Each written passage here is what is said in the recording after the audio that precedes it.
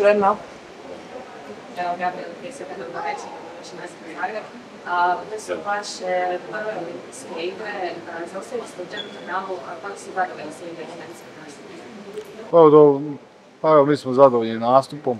Dogurali smo sve do petog mjesta na prvim olimpijskim igrama, tako da evo, mogu se tim pohvaliti.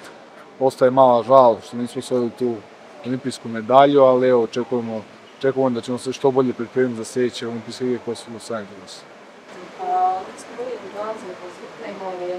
za vas Pa i nije iznenađenje jer sam, evo, već sam se susreo s njim i ovaj, mogu reći da je jako dobar i jako spreman sportaš.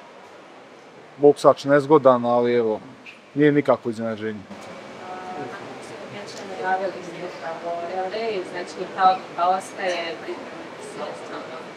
Tako je, tako. Naravno, ostajemo u olimpijskom boksu i ovaj, možda budem i gradio karijeru u profesionalnom boksu jer je to sad moguće, ali u olimpijskom sigurno ostaje.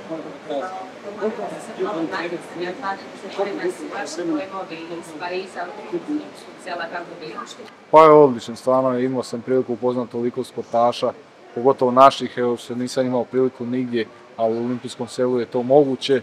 I evo, drago mi je da sam tamo proveo neko vrijeme, skoro 20 dana i evo, drago mi je baš lijepo iskustvo.